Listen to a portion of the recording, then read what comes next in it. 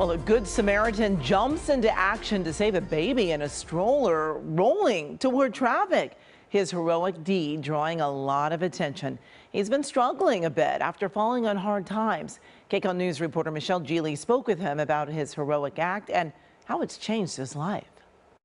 It was just gone. The wind pushed it all the way towards the street, but he got saved by the guy.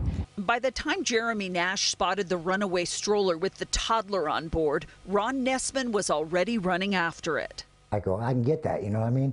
And so I took off after it, and uh, then I heard the lady screaming. Video from the car wash shows the scary situation unfolding in Hesperia Monday.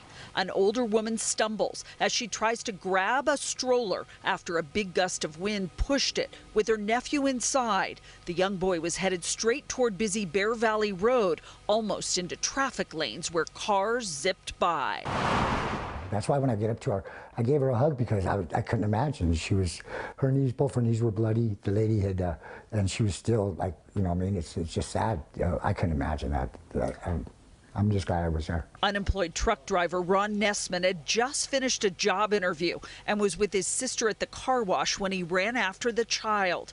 This video has now been viewed millions of times. In the 24 hours since Ron Nessman's story has gone viral, he has been offered at least five jobs, from painting to driving a truck. But there is just one thing that is standing in the way. I don't have transportation at this time. So it's kind of like, thank you very much, but I can't get there. I don't want to you know what I mean? Seem like I'm ungrateful. I just can't get to work. Right? I can, if it's something within bus distance, yeah, I can get there. Nessman recently moved in with his sister after living on the streets for the last eight years. Things are starting to fall into place. He's now known around the world as the man caught on video saving a little boy.